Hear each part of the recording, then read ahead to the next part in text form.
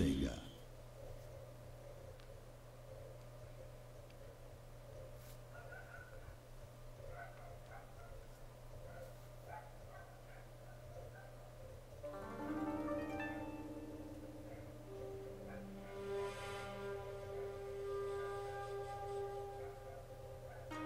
Beauty and harmony, governed by one eternal law. All that begins must end. The reign of the old shogunate is over.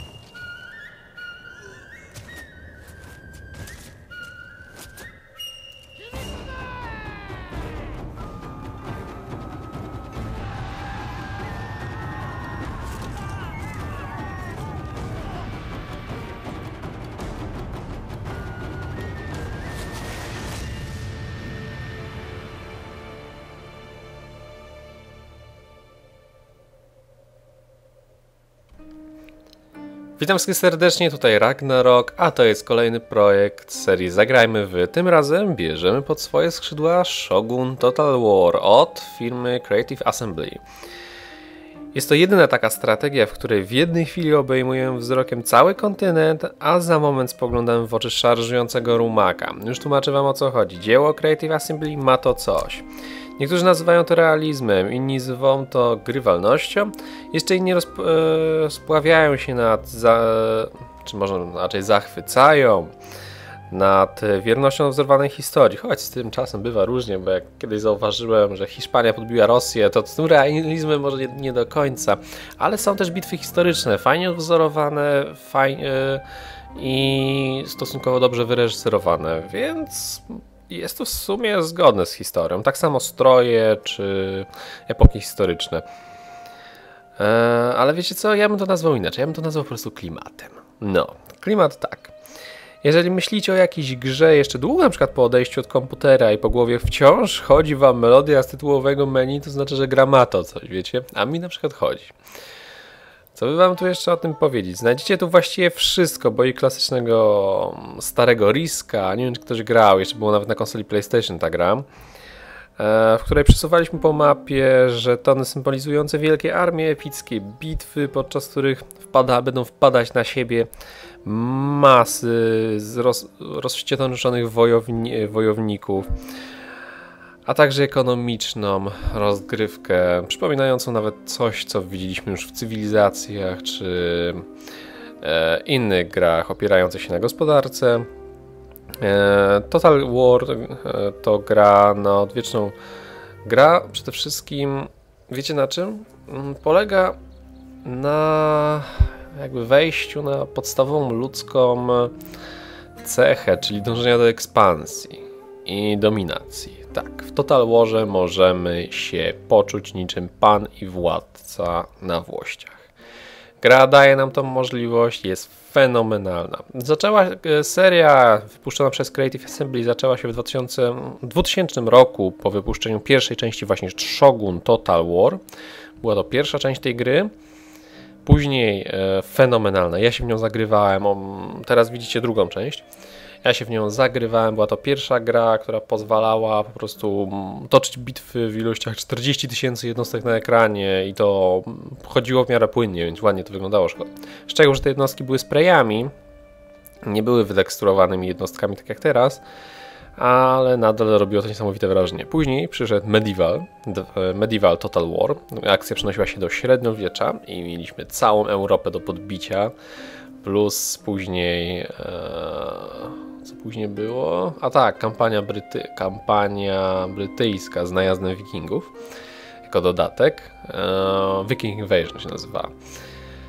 E, po, po Medievalu nastał troszkę okres suszy, no i dopiero Creative Assembly wróciło do marki pełnym 3D, szykując nam Rome Total War, czyli wcielaliśmy się w cesarza rzymskiego lub barbarzyńców chcących powalić cesarstwo rzymskie na kolana. E, bardzo fajna rzecz. Gra wprowadzała po raz pierwszy trójwymiar, mm, trójwymiarowe jednostki. Nie były już sprayami, były normalnymi, były normalnymi obiektami. Każda poruszała się, jakby to mm, powiedzieć, coś w rodzaju. Znaczy, nie do końca oddzielnie, bo one były w pewnym sensie synchronizowane, ale bardzo fajnie było to oszukane i mm, można było odnieść wrażenie, że faktycznie dowodzi się masą żołnierzy.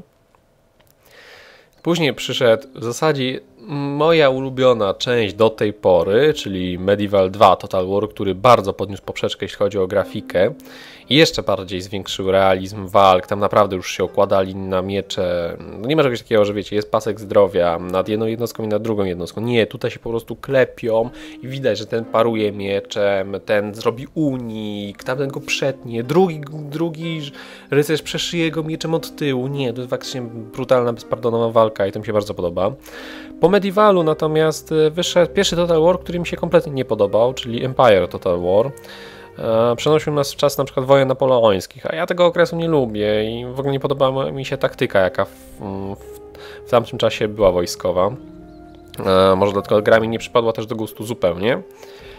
I jeszcze po Empire Total War wyszedł dodatek właśnie Napoleon.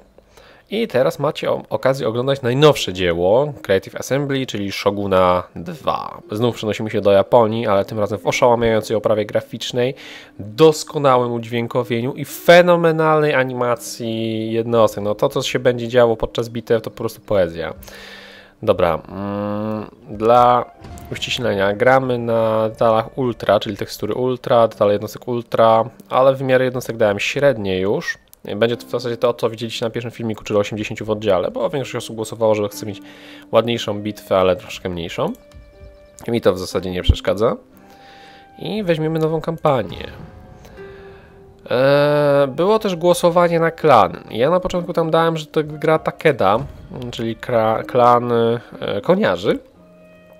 Jednak e, popyli, pomyliłem się, przeliczyłem te głosy jeszcze raz i okazało się, że jednak Tokugawa prowadziła trzema głosami.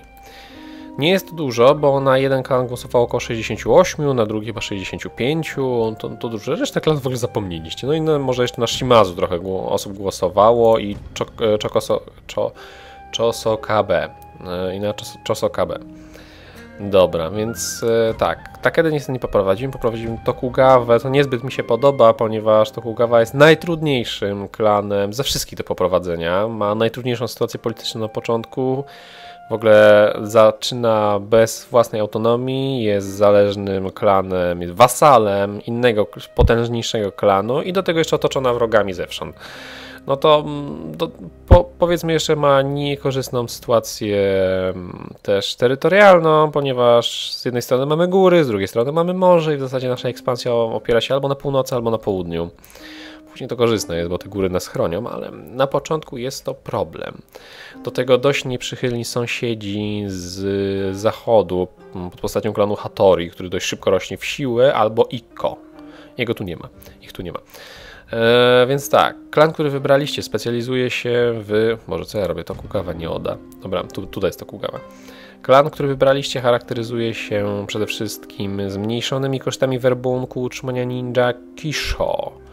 Jest to spe specjalistyczna jednostka do wykonywania specjalnych zadań. Tak, ale to powiedziałem, nie? Masło, waśniane masło. Ogólnie chodzi o zabójstwa, jakieś sabotaże i inne rzeczy. Plus mogą werbować znakomitych ninja. Dobra, podstawowych też. Mm, premia do stosunków dyplomatycznych to się raczej średnio przydaje, bo i tak nikt was nienawidzi. Wszyscy was nienawidzą na tej mapie na początku. E, I plus 2% do szans powodzenia działań Metsuke. Metsuke to coś w rodzaju agenta, będę o tym mówić później.